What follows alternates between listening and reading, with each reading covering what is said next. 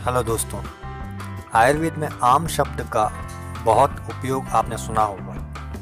हाँ दोस्तों, यही आम शब्द, यानी कि आम, शरीर में उत्पन्न होने वाली ज़्यादातर बीमारियों में कारण होता है।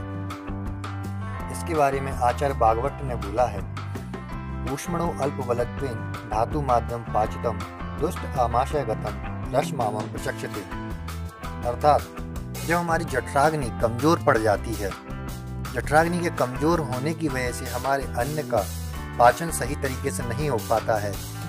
जिससे जो रस धातु बनती है, वह अपक्व अवस्था में प्राप्त होती है।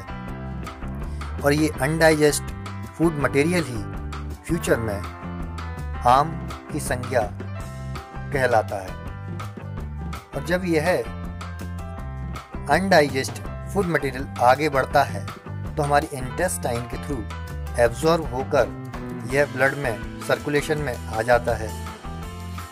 और यही ब्लड सर्कुलेशन में आने के बाद सेल्स में हो रही मेटाबॉलिज्म में एंटर करता है। और यही सेलुलर मेटाबॉलिज्म के लेवल पर जो फ्री रेडिकल्स उत्पन्न होते हैं, जो शरीर के लिए हानिकारक होते हैं, उनको न्यूट्रलाइज नहीं कर पाता। और यह सेलुलर मेटाबॉलिज्म को भी धीमा कर देता है, जिससे सेल्स हेल्दी नहीं बन पाती हैं।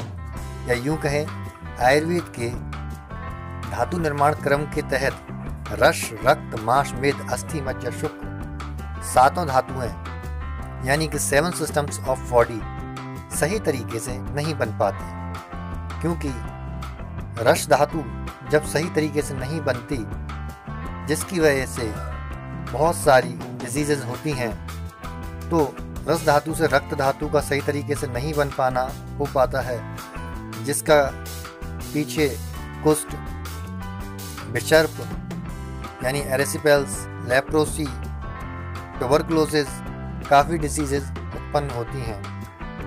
तो दोस्तों, इस आम को बनने से हमें रोकना है, क्योंकि तो यही आम यदि जॉइंट में चला जाता है तो वहाँ पर गाउट आर्थराइटिस पैदा करता है। यही आम यदि हार्ट में चला जाता है तो रूमेटिक हार्ट डिसीज़ पैदा करता है। यही आम यदि आँखों में या सिर में चला जाता है तो सिर से संबंधित या नेत्र संबंधित व्याधियों को उत्पन्न करता है। जिस जिस जगह यह आम जाता है, उस उस जगह पर यह व्याधियों को उत्पन्न करता है। इससे बचने का एक उपाय है। यदि हम अपनी जठराग्नि को तेज करने के लिए, यानी अपने डाइजेस्टिव सिस्टम को तेज करने के लिए कुछ आयुर्वेदिक औषधियाँ, जिसमें से सर्वश्रेष्ठ औषधियों में त्रिफला, त्रिकटु, ये कही गई हैं। त्रिकटु बनाने के लिए सौंठ, काली मिर्च और पीपल, ये तीनों को सम मात्रा में पीस कर एक एक चम्मच सुबह शाम यदि हम लें तो हमारी जाठराग्नि तीव्र होती है।